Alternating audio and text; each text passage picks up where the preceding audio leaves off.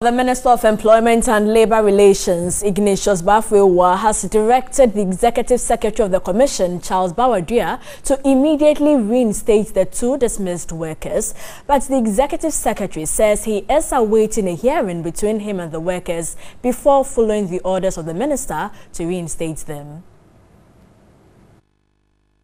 Who is just two days old in office, was surprised by the picketing of the aggrieved workers of the Commission. He pleaded with the workers to rescind their decision and resume work and assured to get their concerns resolved immediately.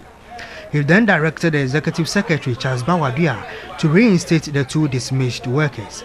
I instructed the Executive Secretary to immediately reinstate those that um, he has sacked, pending whatever discussions we're going to have.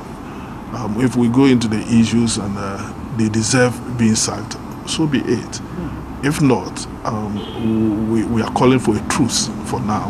We'll ask the appropriate uh, bodies to go into it and advise us as to what we should do.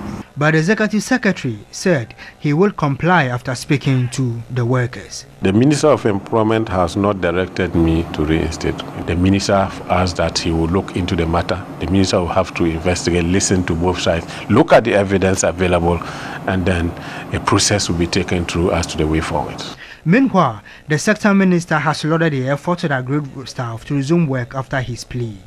Anybody that has business to do with them should not um, say that perhaps he or she may have heard that there's an industrial action, so because of that, the business is not going on. Work is going on as normal.